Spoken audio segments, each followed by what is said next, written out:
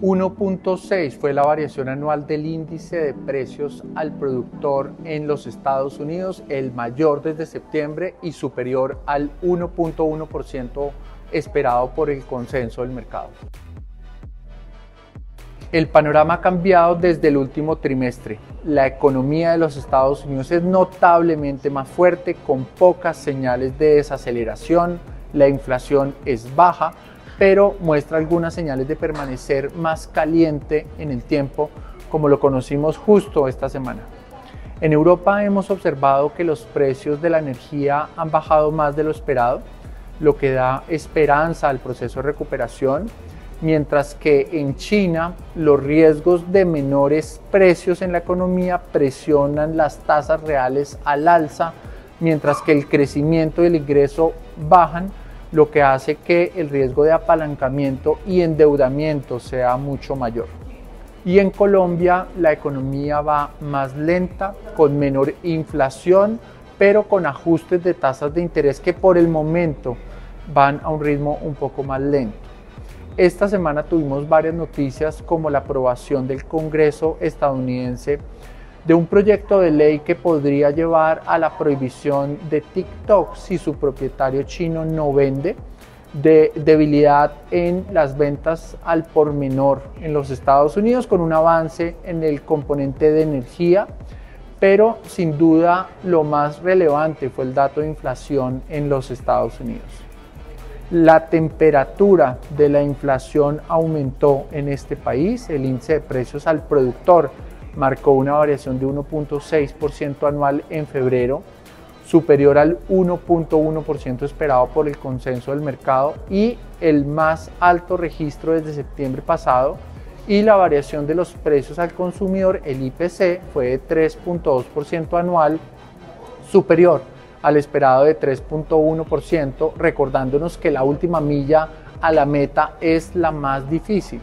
El índice de precios al productor es relevante porque proporciona información sobre, los, eh, sobre las presiones en los precios que afectan los costos, por ejemplo, de la producción de las empresas, afectando la competitividad y con implicaciones en las decisiones de política monetaria. Al ver el detalle del IPP el último mes, eh, observamos un avance fuerte de 4.4% en el componente de energía, lo que cuestiona la desinflación hacia adelante, justo cuando los incrementos eh, el último mes fueron de más del 3% en las distintas referencias de petróleo, por encima de los 80 dólares el barril. Esto finalmente se tradujo en que el mercado accionario internacional retrocedió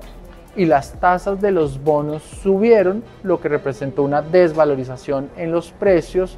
ante precisamente datos macroeconómicos decepcionantes en esta economía.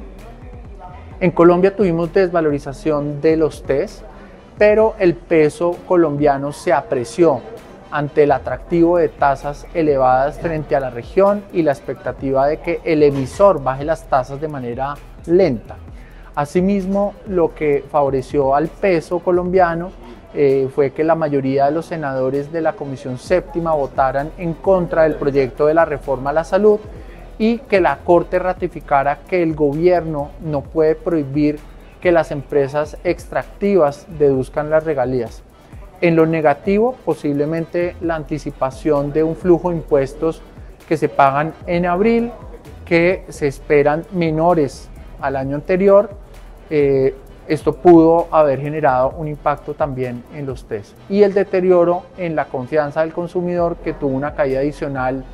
en el mes de febrero. Por ahora pensamos que la coyuntura negativa de la renta fija es temporal y que la fortaleza del peso, que ha regresado por cierto a mínimos del año, puede tener un revés ante el mayor ritmo de recortes de tasas de interés por parte del Banco de la República y posible estabilidad más prolongada de las tasas de interés en los Estados Unidos, así como menores ingresos vía impuestos y la mayor debilidad de la economía. En los Estados Unidos conoceremos cifras de vivienda e inventarios de energía, pero sin duda lo más importante será la decisión de tasas de interés por parte de la Fed frente a la cual no esperamos cambio y ajustes marginales en sus proyecciones macroeconómicas. En Colombia tendremos cifras de comercio internacional,